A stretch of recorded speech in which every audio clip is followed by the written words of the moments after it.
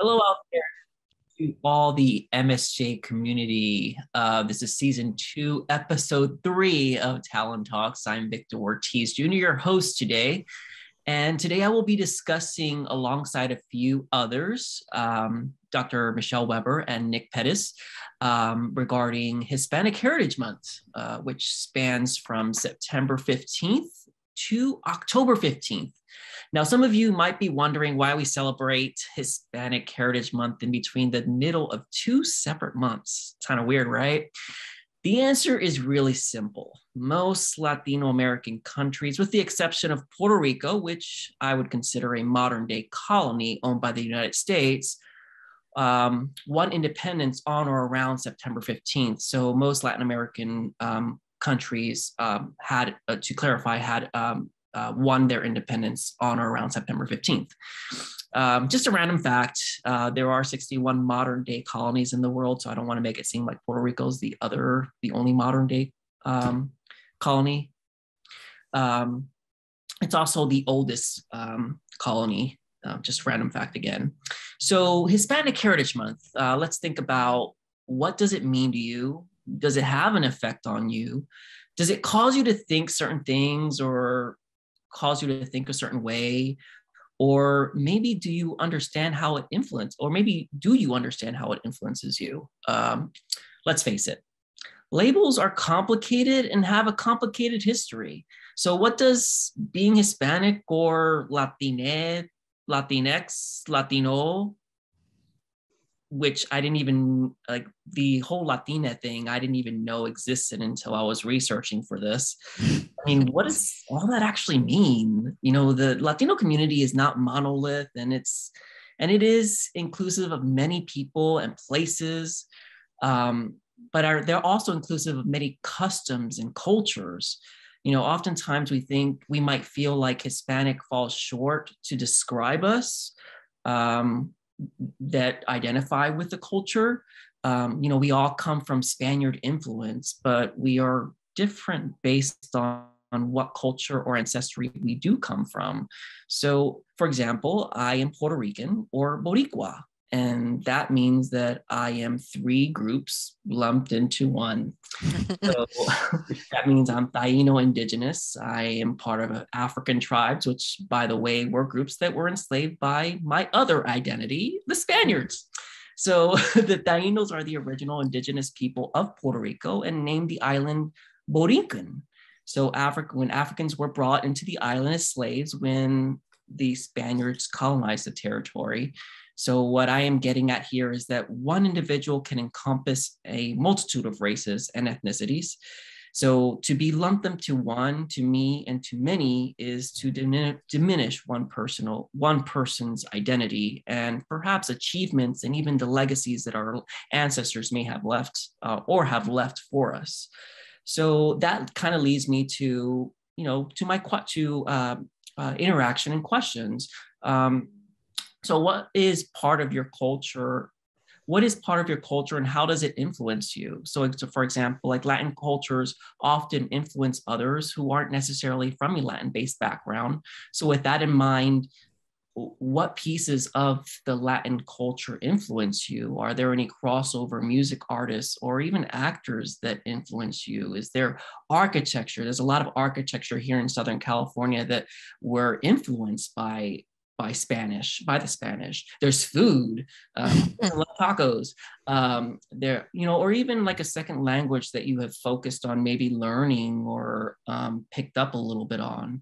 You know, like for example, like me, my culture. For me, my culture's music draws from three different identities. Like I said, um, you know, there's merengue, salsa, there's bachata, and music artists like Tito Puente, Celia Cruz, Eddie Santiago, who was an earlier Spanish um, or salsa singer, um, even Marc Anthony. Everybody knows Marc Anthony.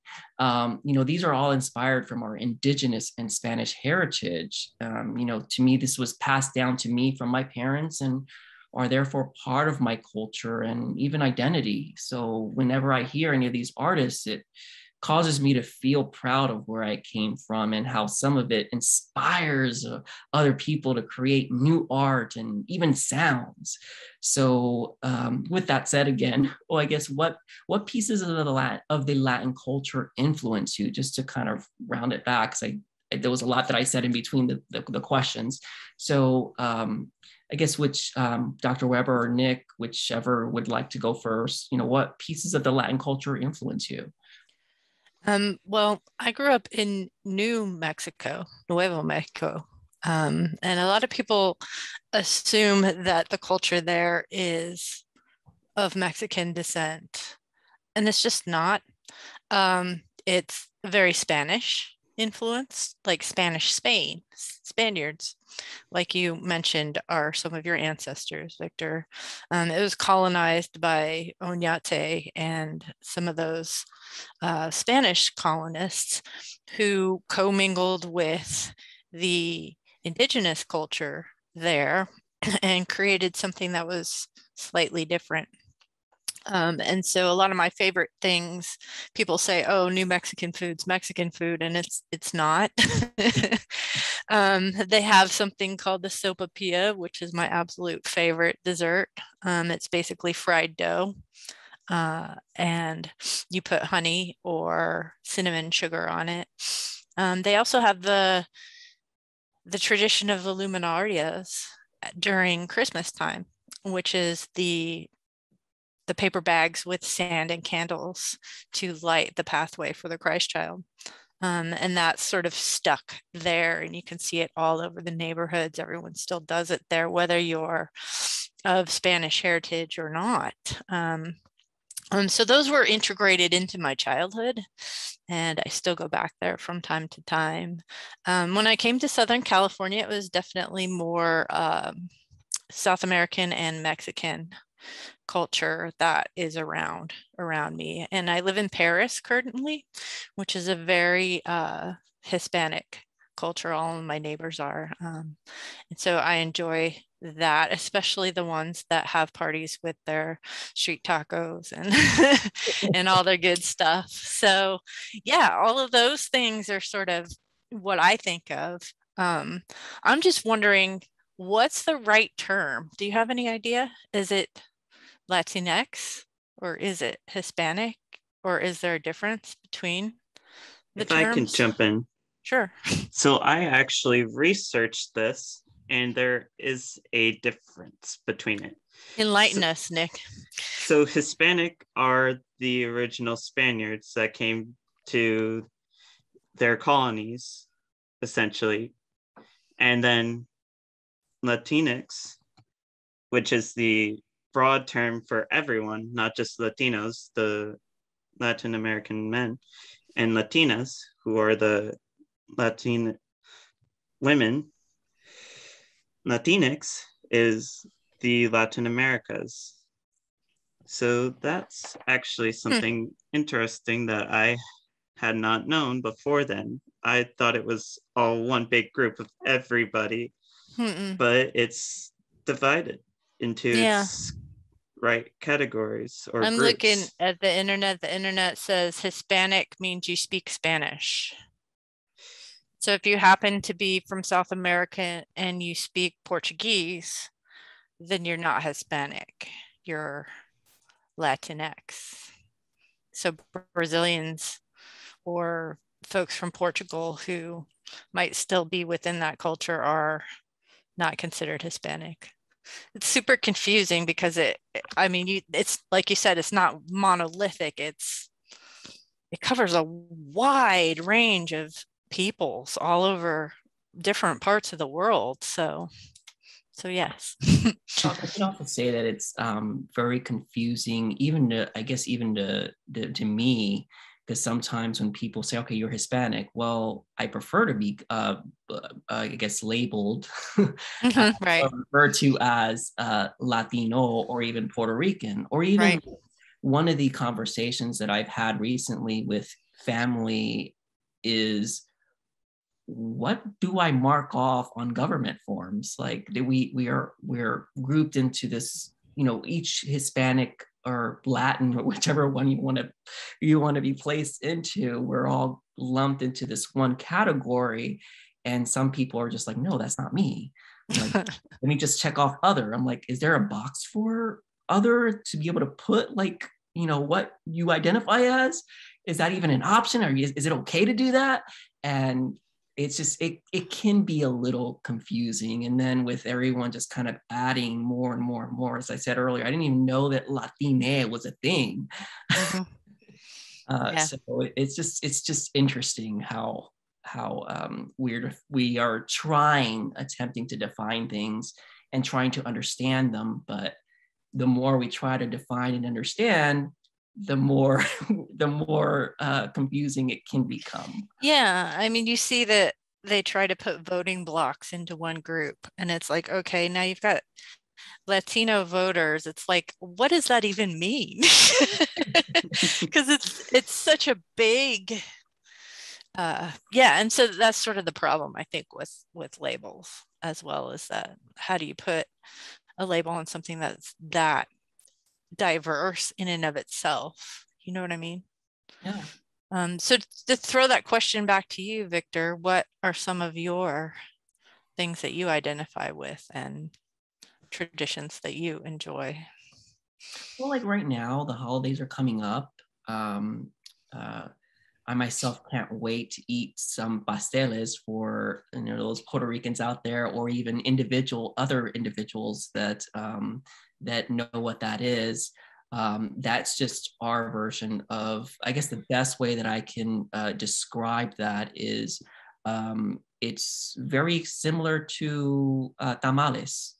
Um, whereas we use, like with pasteles, we use plantains and uh, we put meat inside the uh, the the plantain, and then we wrap it up in uh, wax paper, and then we just we boil it until it's cooked. Um, there's also coquito, uh, which is our version of um, eggnog.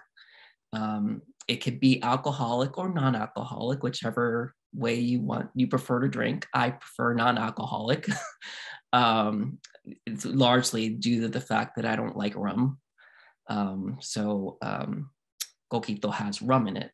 Uh, so those are just some of the from at least from um, my part of the culture that I enjoy. Um, there's also parrandas uh, for um, Puerto Ricans. Um, those are that's our version of Christmas caroling. Of course, some people might not so much enjoy that form of Christmas caroling. The only reason for that is because parrandas, um, we basically have all sorts of instruments like a band, and we will start knocking on your door starting at like 12 midnight all the way up until five o'clock in the morning. So we can either, if you're not on the island, then some people don't understand. So they hear all this ruckus going on at like two o'clock in the morning, and we get the cops called on us. So uh, that's, that's, one of the like really enjoy. I don't enjoy so much the um, the um, the caroling in that in that sense where we get the cop we can get the cops call on us but it's just really fun to be able to it's very family oriented and we're just up literally all night making noise and celebrating the season. So um, that's just what just to answer your question that's what i you know those are some of the traditions that i that i that i enjoy Awesome. Thanks for sharing. I think that it's really interesting to hear about the plantain uh, based food that you're talking about that are like tamales, but but you don't use the the cornmeal or or what goes into it. yeah, we don't tamale. use cornmeal um, or the um, I think it's uh, the um, I guess the Mexicans use um, mm-hmm. the, uh, the um, the I guess the not just the cornmeal, but they wrap it up in the corn stalk thing. Yeah. I don't know what it's called, but yes. yeah, but either way, you know, like I enjoy both. It's just the the, the closest similarity that I can make to it. Um, but yeah. Cool. Uh, I guess with that said, I, I guess our um, what I guess is there any part of um, how do you feel about being more inclusive of other cultures within within your family or even friends? Um, because we live in such a community that's i guess inclusive of it of of i guess latino culture. Um, how do you feel about you know being more inclusive of that of that and even explaining where some of that comes from? Because i just kind of feel like you know individuals in society or even us like even so in southern california uh, we we celebrate uh, some of these things but we don't necessarily and we enjoy them but we don't necessarily know exactly where it comes from. Um, we don't i don't know that we all the time um, take out the time to to express hey this is where this comes from. Kind of like what you mentioned earlier dr dr weber where you know we you grew up and when you were growing up they were just like oh, okay well this is what happens where you know you know where where um, where i grew up but they don't necessarily associate it or tie it to i guess an even bigger um, meaning or mm-hmm. Mm-hmm. yeah so I guess, you know, again, I guess how do, how, I guess maybe I should restate it a different way. How do we feel we should, we should explain it to people so that people can better understand? That uh, is a, a really good question. I think, as you mentioned in Southern California, we sort of take it for granted. Like it's just all around us. It's it's in everything um, go down the street to Cardenas and get a really delicious burrito, and you don't even, you know, you don't think about it. You go in there, they're playing the music, and they have all of the Mexican food, and it's just it's no big deal, you know. But I guarantee, if you went somewhere where that was less prevalent, it would be more unusual to them, I guess. Yeah. Um, and I, I get the feeling that unless the culture's all around you or you're exposed to it, you have a tendency to stereotype and um, maybe not see things as they are. So my suggestion to people is immersion. Like go chat with folks like you, Victor, about what your background is and what your traditions are. And it's funny because like last year, Saydel, um, she's from Cuba. So she did a little piece on her Cuban heritage. And then Cindy, both of them identify as Hispanic. She's from Guatemala, which isn't anywhere near really Cuba. and so completely different, but yet a common language, but still very different uh, backgrounds and traditions and like you said puerto, puerto rico being slightly different from all of those um, so I, I think it's important i guess with the hispanic heritage month to not lump everyone into the same sort of pot you know and assume that everyone because they speak spanish is from mexico you yeah. know what i mean yeah i mean i think that kind of branches off to something that you said you know um, just to kind of branch off and off of that is um, you know you what you had mentioned earlier is just going out and just speaking to people and trying to learn because one of the things that i think is a little unfortunately prevalent in even like just everyone in general you take a look at somebody and you automatically assume they're this or that mm-hmm. you know like mentioned you know puerto ricans we are africa we are you know we come from africa africa we come mm-hmm. from um, the taino indigenous people mm-hmm. uh, we come from spaniards so that means mm-hmm. that we literally can have anywhere between a spaniard that you know has you know blonde hair blue eyes mm-hmm. um, white uh, we can have somebody who's Taino, more Taino, who's you know brown skinned like me, or um, someone who is who appears to be black or just mm-hmm. someone mm-hmm. just from Africa, you know, from African descent. You know, we can have a mixture of all three of those. Mm-hmm. But kind of branch off even further into that, that is actually present in a lot of different mm-hmm. countries and cultures. So it's important for us to really try to dive in and try to understand and try to, you know, have those conversations with people rather than, you know, placing labels and assuming. Um, one of the things as well that I kind of think about too is, you know, my my sister, she's married and she's interracially married. Mm-hmm. So one of the things that I hear her and my brother-in-law discussing is, well, what would our children be? be? Mm-hmm. You know, like what about the last name? Like my sister has a Spanish last name. My brother-in-law has uh, an Irish last name, but no one's going to know that that's an Irish last name. They're just going to associate it with whatever they're going to associate it with. Mm-hmm, it's mm-hmm. just really important to kind of, you know, educate and to try to explain. You know, it's just, you know, we live in such in a society that's so. I want to say, I, I, you know, not to be mean or anything, but we just we just like to assume a lot and if we would just take out the time to really think and listen as to why we have certain things and try to better understand them, even me with Hispanic Heritage Month, um, with doing a little bit of research, I've learned a little bit more. Because I can't say that I even I myself really celebrated it. I was like, okay, well, it's Hispanic Heritage Month, but it's really important to try to to educate the community and help them better understand so that there isn't so much division I, yes. I, um, in understanding and, and, and maybe minimize some of those fears that are out there. Um, and it, again, it just, it doesn't just it extend with the Hispanic, you know, Hispanic Heritage Month. It's literally everything. So that's kind of a, you know, that's kind of my, you know, summary and assessment of that. You know, I, you know, I think that it's evident that Latinos in general are inspired by their by their own culture and um, also overall cultures of the Latin community as we mm-hmm. here. You know, um, Nick, what do you think? Yeah, definitely. Off of what Dr. Weber said, I am one who was immersed in all cultures because I went to public schools in Temecula and Murrieta, and I just talked to people and found out who they are and what their story is. And I just I I don't know the right word for this, but I'm amazed by how far the people I've met have come from far distances across the world, basically, to be here and live their best life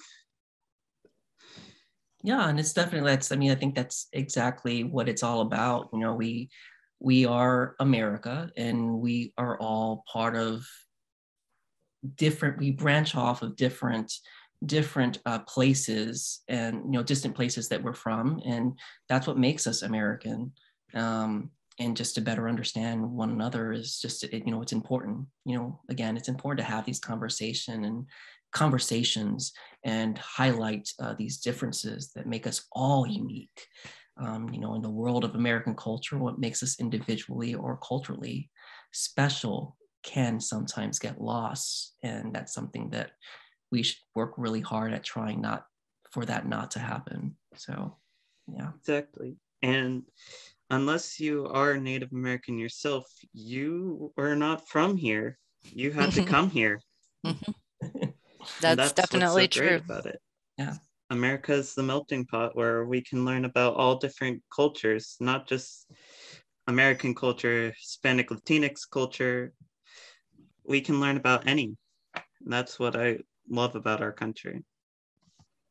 Yeah. Very true. Very true. Oh, so is there anything else that you'd like that may I may not have meant or we may not have um, I guess covered here that we would like to maybe mention to our um, our, our uh, MSJC community and even communities that outside of that? I do think it's a, a great time to reflect um, uh, if you are Hispanic or Latinx on the other parts of your culture that maybe you don't know about by reading um, books by Hispanic authors that you may be wouldn't otherwise read um, if you're like me. Um, and, you know, during these history months, it's a great time to sort of de- deep do a deep dive. Like you said, Nick, you looked up the different names and what they mean. And Victor, you said you did some research. And I think that this is the time to do that. And there's all of these Black History Month, and there's Women's History Month, and there's Hispanic Heritage Month, and there's um, LGBTQ Week. Um, and it just sort of helps us focus on these beautiful differences that make up sort of the fabric of who we are. Um, and I, I think the, the amount of division that is happening right now, um, we need to focus on the beauty of the differences and how interesting that makes us, um, and also how connected it makes us too. Mm-hmm. I definitely agree. Yeah, I um, it's definitely important right now. Um, I, I, I would agree with that statement. Um, you know, I a lot of us again, you know, as I mentioned earlier, we like to assume, um, and even a lot of there's a lot of opinion out there, and it's really easy for me to say, well, go out there and educate yourself. But even coming from um, underprivileged communities, it sometimes people don't necessarily understand or or or, or hear that. Mm-hmm. Um, and it's really easy for even somebody who didn't grow up in that kind of world to be able to say, okay, well then just pick up a book and read.